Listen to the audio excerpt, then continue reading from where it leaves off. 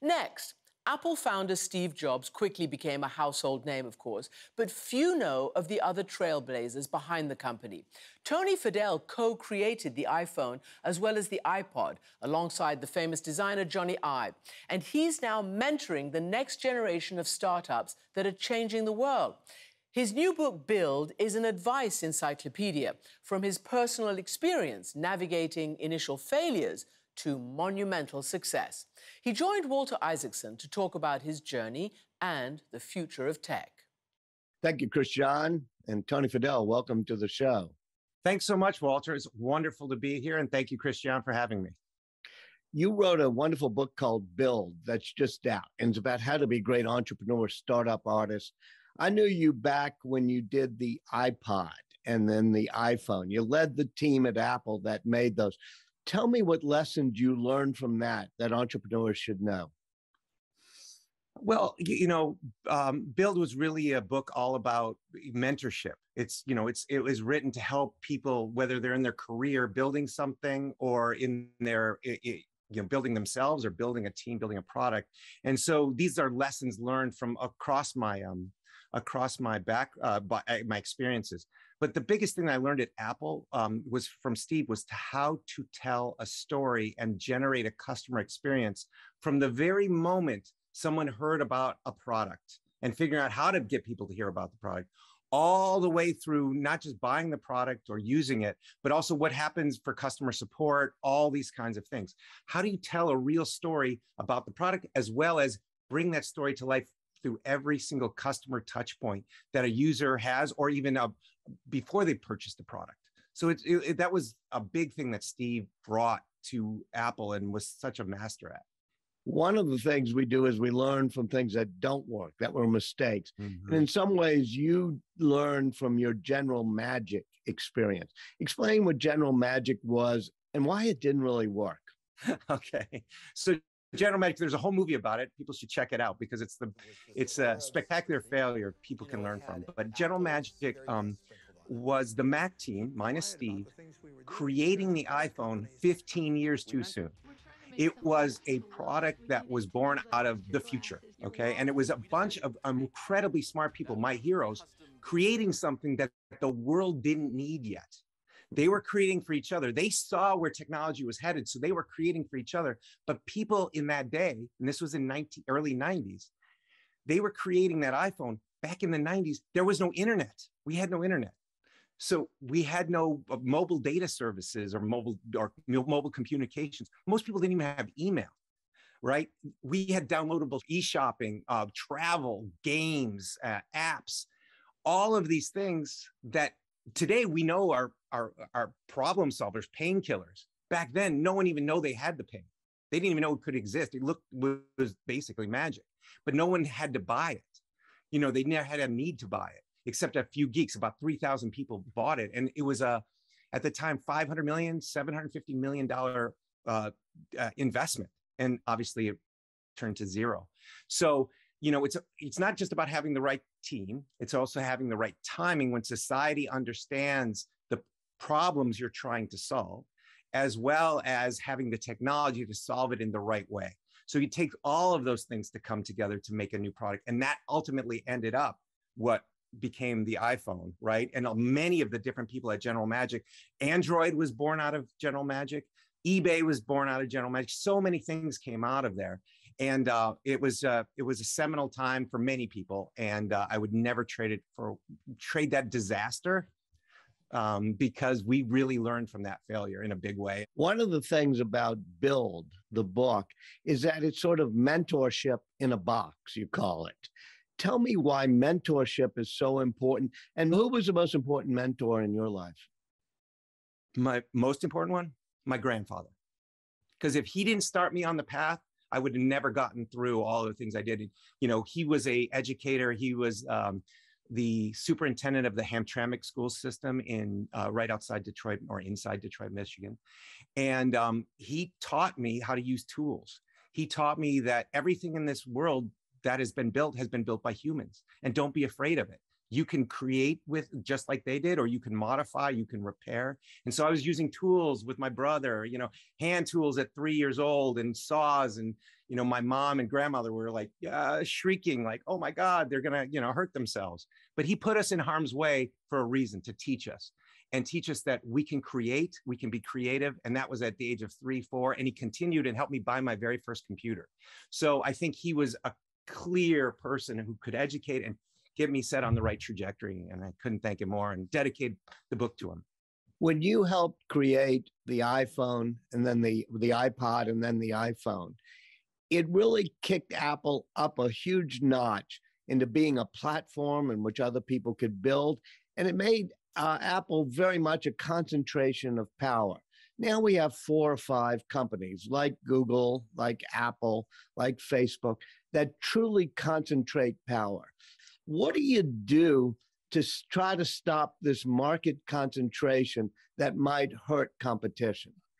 Well, what I've always said, and I, I, I, I do believe with great power comes great responsibility and you cannot extract every penny from everyone because and you can't and this is the problem i saw you know with other companies in the 90s and 2000s where they would crush the suppliers in Asia and get all the money out. And they would just have them, you know, quarter to quarter. They, they were they were all paupers, even they were doing incredible work for these businesses. You have to understand when you are in that seat, you have to be benevolent and you have to make sure everybody is is winning here. If somebody's losing, they're going to come against you at some point. Wait, wait. Do you think so, some of these big tech companies are following the rule of benevolence when it comes to competition? No, I don't. Unfortunately, I don't. And I think they need to be careful because it will be a strong backlash. Just like any revolution of a government where the inequity becomes so wide, there's a revolution. There will be a reckoning at some point, and, and everyone has to understand we have to all work and get along. It doesn't mean we're all equal, but it does mean we have to be closer and, and reduce the inequality and make sure that it is accessible to people and open because otherwise you will get an uprising. And we're starting to see that in governments around the world because they've said enough is enough. And you can't just extract, extract, extract without giving back. And there's a big pushback against big technology in American politics today as well. What should the technology companies be worried about? And is it a valid worry? Well, I think that not just tech companies, but most companies in, in general, you know, they have become governments in their own right in some ways. The the CEOs and uh, I don't I wish them well, but a lot of them are politicians now. They have to worry about the governments and multiple governments and you know should we be selling in China or not? If we are selling in China, we're not you know doing the right thing for human rights. These kinds of things. So these big businesses have turned into governments in a way, and these CEOs have turned into you know certain government officials, and that and with their own biases you know, or they, people claim that they have biases um, it's really hard now. I don't have any real advice, but it, we have to watch out for politicizing companies and company culture because it, you know, and media has always kind of been that way, but we can't let that get into tech and everywhere else because if if we do, we're never going to solve this climate crisis. We're never going to solve our social media crises that we have. We have to find some more common ground and bring more togetherness and be around a mission and not am I left? Am I right? And being attacked from all sides. You talk about the crisis in social media right. just now. What is the crisis in social media? Anyone with any voice says, I have an equal right to use this amplification tool to, to influence people. And for me, the biggest issue is sure, you can have a bigger town square. Okay, so now you have a bigger town square where the town crier says whatever they want. But when you're selling ads and those ads are ag- al- algorithmically put next to things that have intentional inflaming content, whether that's you believe it or you don't like it, that is where it, it, it, you're amplifying for money. And that drives companies and Wall Street to only look at those metrics of money and engagement instead of societal benefit right? Oh, you talking about Facebook in particular? I'm talking, yeah, Facebook in particular. I look at other people as well. You know, Twitter's doing what. So what should be done with Facebook? What should be done with Facebook? Facebook, well, we've we've heard their false promises for years. They need to be regulated. This needs you need to come in and you need to start looking at these algorithms and start removing this amplification from from from revenue model, right? It it is toxic. We have to separate the two. And we saw what happened in in media in in, in traditional media. It is 10 or 100x online media and we have to do something about it and get that algorithm out and understand it's for public good, not for public destruction. And how do you do that with a private company? You think the government should go in and sort of fiddle with the algorithm of Facebook?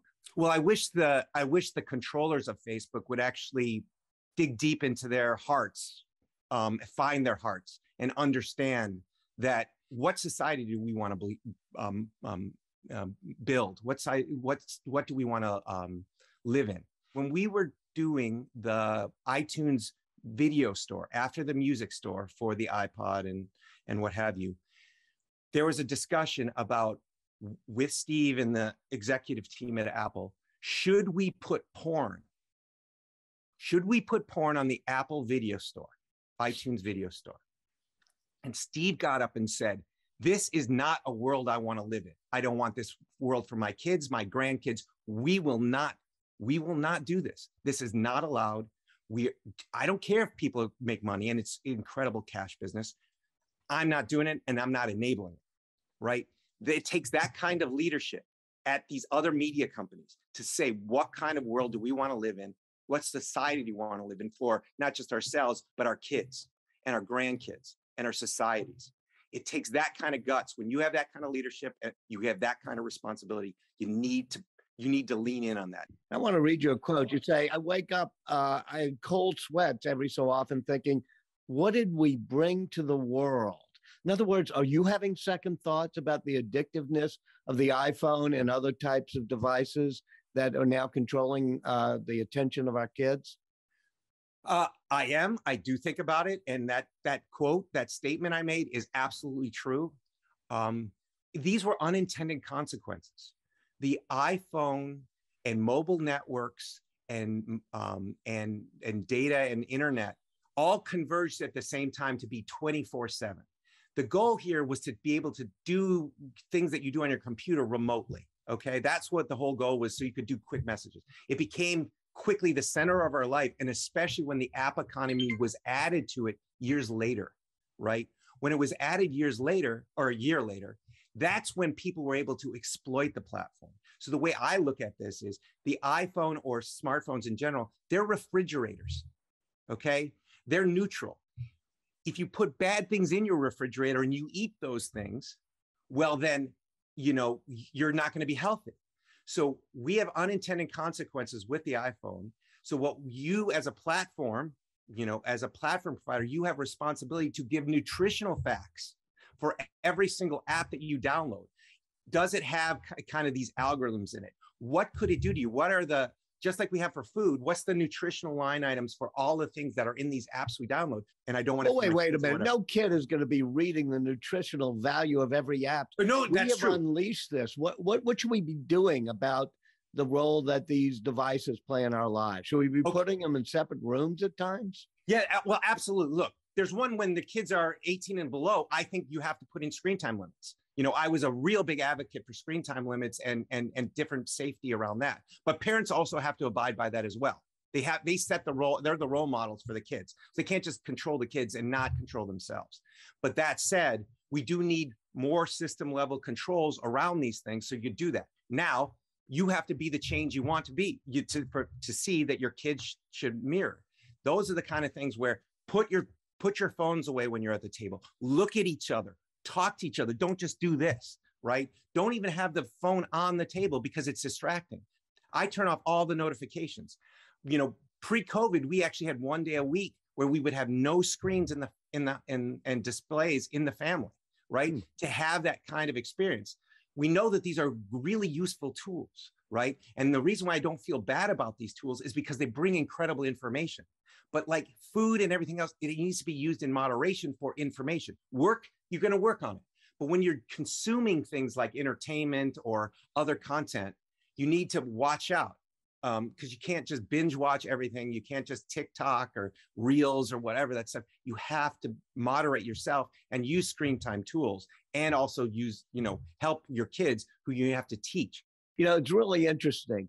You're one of the primary inventors of the iPhone. Obviously, Steve Jobs was. Steve Absolutely. Jobs never allowed his kids or his family or himself to have the iPhone or any computer in the room where they ate dinner in the evenings. And likewise, you're saying, as one of the primary people who helped bring us the iPhone, you don't allow it around a dinner. You don't allow your kids just to use it. Yeah, I, I, yeah, I, I really, I really am get upset when I do see that, and and I also don't want to do see it when it's when adults are together either. You're now very involved in green technology. Tell me why you've turned your focus to that, and what do you think the promise of those technologies are? So, we are in a climate crisis. We are going to have to reinvent our the way we live, our societies. Um, we need to find those technologies that allow us to live similarly to what not the same, but similarly what we can live to live today, but in a in a green circular way. So we're trying to find the disruptive technologies that allow these things to happen. So I've taken it on over the last six years, and now we're invested in 20, 30, 40 different companies all around climate. And in fact, at, with Build, um, all proceeds, net proceeds of Build, are matched five times by me to go fund climate crisis solutions. So we're really trying to, with this book and with our with what we do every day, is try to show the way of how we're going to get out of this crises we're in um, and we're going to need to do it together with the best brains, the best capital, and work together to make that happen. So I'm very excited about the hydrogen economy. I'm very excited about uh, new forms, uh, like I said, of agriculture, um, transportation.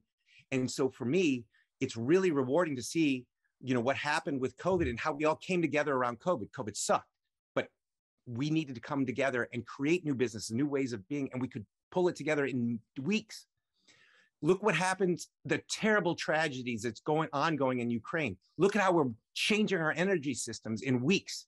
We can do this if we if we if we mobilize unfortunately against ourselves and how we're living. We have to mobilize and have the will to go and make those changes so it's better for our, our future generations as well as ourselves.